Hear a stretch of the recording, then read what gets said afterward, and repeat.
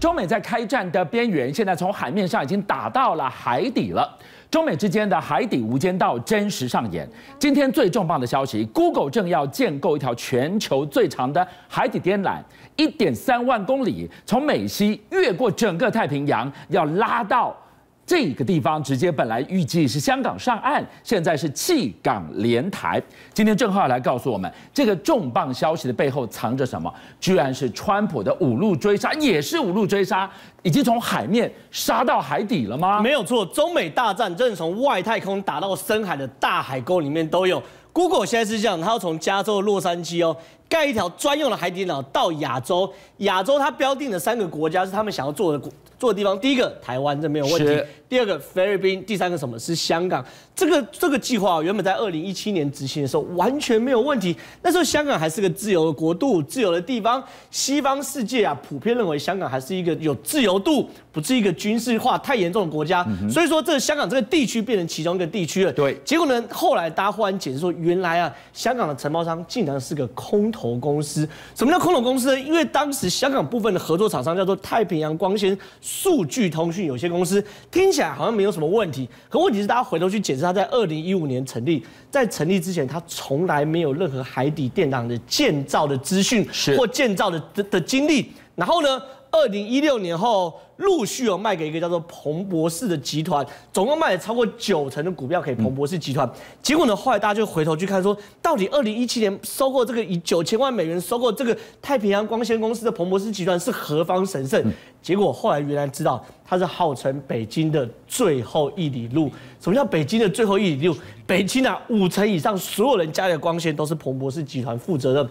重点来了，他跟彭博士集团、跟北京的公安局有合作一个叫做“平安北京”的系统。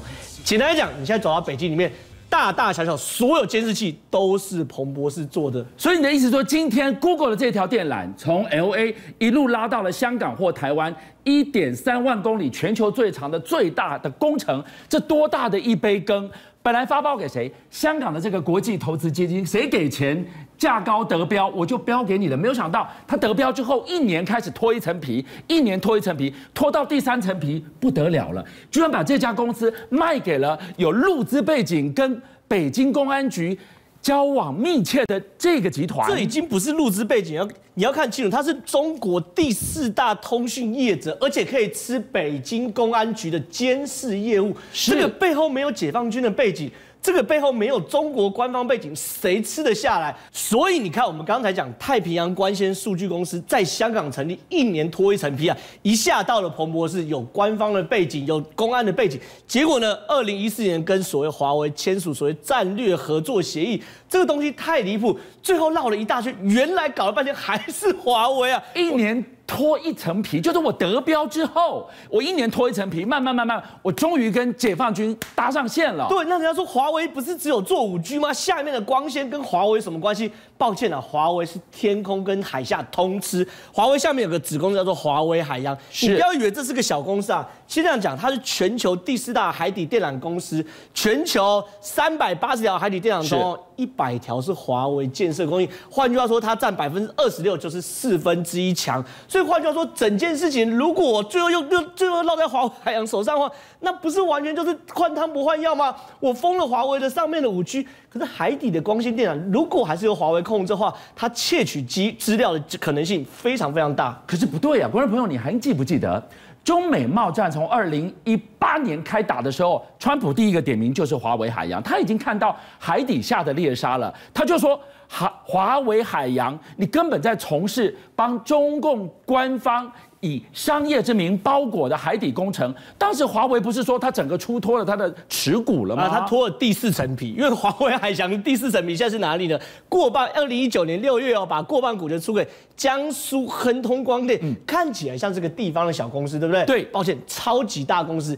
他非常非常多的研究专案跟谁？解放军的海军实验室做研究专案，所以换句话说，他根本就是不折不扣的军工产业。简单讲，所以说你看，我们从刚刚那个香港的公司啊，到彭博士，到华为海洋，到现在的江苏亨通光电，其实对于中国来说，只是换换汤不换药。它最后本质还是什么？借由掌握这些所有的海底电缆，然后呢，从中可以窃取一些重要的商业甚至是军事的资料。当今天晚上提到了海底电缆，我们想到的都是。YouTube，都是网络的传输。我们其实很难想象看不到的海底。你刚才提到了马里亚纳海沟这么深的地方，走过了一条电缆，它如何形同战场，决定输赢跟生死？我先这样讲，为什么我们对于中国企业这么这么的不信任？因为有太多太多的潜力告诉我们，如果这个企业是中国承包的话，有非常大的机会，很容易被骇客入侵，而且那骇客清一色来自于中国。比如说，二零一六年哦。中国承揽的两座越南的大型机场，后来呢被发现遭到大量的骇客入侵。这骇客是哪里？是中国来的骇客。后来人家去检讨说，为什么这么容易被骇客入侵？原来他设计的防火墙超级超级弱。哎，那个防火墙呢？如果这个桥门都被中国骇客知道的话，很容易就进去。所以太多太多例子，包含澳洲也有指出相关例子。所以说这件事情，如果连光纤都被中国掌握的话，未来会有非常非常多的军事机密或商业机密。就直接送终了，所以对于川普来说，当然是孰可忍，孰不可忍。刚刚讲到的，其实都是部件路面上的办公室或者是系统。问问题是海底下的猎杀有前科吗？当然有前科，很清楚啊。过去哦，中国就曾经丢听音器去监听关岛的美舰，什么意思呢？他们哦透过所谓的运运运输机哦，然后把一个声下的低音器哦丢到关岛的附近，丢到关岛附近，它是类似一个浮萍上面，你远远看其实看起来像是个黑黑的东西，你不知道是什么东西，像是浮标。对，可问题是它是声波收纳器。换句话说，只要有大型的军舰经过的时候，一定会有声波的波动的影响。是，然后这个东西呢，第一时间回传到中国的卫星或中国的军事基地，这样子对他们来说，我不用再用去雷达照你了，我用海面上的声波就很简单。你今天有大型的军舰一出来，我声波收纳器马上收到，马上回传到中国的后方。所以过去这些事情啊，中国早就有前科做这种海面上的声波侦测了。所以你看到今天这个看似不起眼的浮标丢进去，它却是一个收音集音器。你如何神出鬼没的潜舰那些音波，那些全部被它收集之后往回传？而且这个集音器有分两个，一个是水面上的集音，一个是水面下集。如果是潜舰的话，是最难收到声收收到声呐的。可问题是，这个集音器连水面下的声呐都可以收到，因为原则上军舰出港雷达都还是照得到，卫星都还是照到，可潜舰最难抓，所以这个浮标对于潜舰来说压力非常非常大。所以中国过去前科累累。可问题是我们要知道，全世界搞这个东西第一名还是谁？还是还是老美？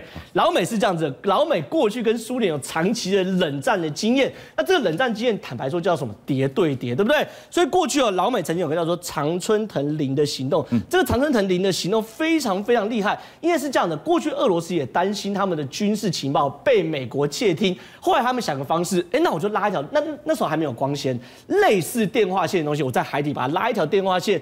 作为我们国内的通讯的专用网络，听起来百密百密一疏嘛？你看这个名字，长春藤铃，好像到猫猫的脖子上去挂铃铛一样。简单来讲，美国就在这台电缆上面挂了一个铃铛，所以那个时候电线大概多细呢？十二公分左右。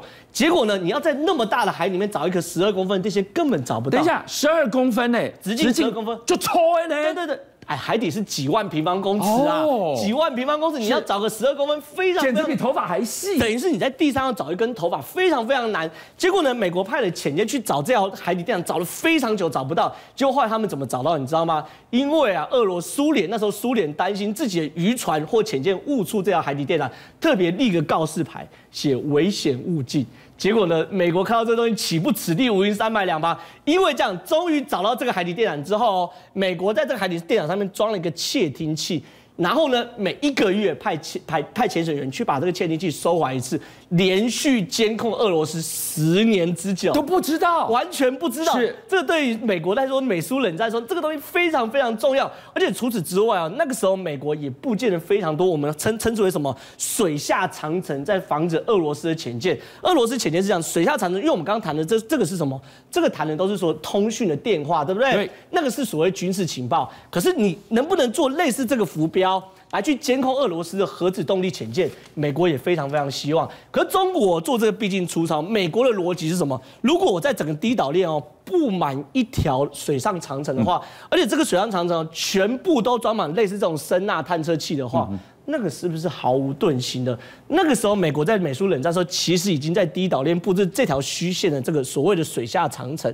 那重点来了，这条水下长城在美苏冷战之后结束之后，已经没有再用了。对。可问题是，现在最新的秘密计划是美国跟日本正在继续布建这个水下长城。这个水下长城有多厉害呢？很简单哦。第一个哦，因为你知道每一条潜舰的声音都不一样，即便同款，它的引擎声音也略有不同。一种声纹代表一艘潜舰的身份。所以它这可以，它它可以侦测到每一个中国的每一个行路的潜舰，只要你你只要从中国出来，你不管往哪个方向，你不管是往马六甲海峡、往台湾、往宫古海峡。全部躲不过，他都抓得到全部躲不过这个水下场。而且哦，曾经有一件事情是在二零一八年的时候，中国一个核子潜舰哦，经过钓鱼台之后，忽然往上浮了。坦白说，这个画面那时候非常非常近。你看这上面还有个解放军军，就是中国五星旗的旗帜。这东西那时候是非常非常意外的，因为原则上很简单，你任何一艘核子，尤其是核子潜舰哦，你在执行任务的时候，你不可能往往上浮，你只有被抓到了。被锁定了，你才会往上浮。而且我挂起我的旗子，代表我是无害通过，没有错。这个东西后来就人家发现说，原来这条看不见的水下长城，美国自始至终没有放弃监视，直到二零一八年的时候，这个东西才曝光，原来这条隐形的长城。一直都在。你说他被逼出来的，他被逼出来的，他被逼出来的。那个时候，美国还甩锅给日本，说是日本逼的。可那个日那个时候，日本跟中国关系其实还不错，所以整件事情都很清楚。美国跟中国两个大强权的竞争哦，真的是从外太空打到海底下的大海沟。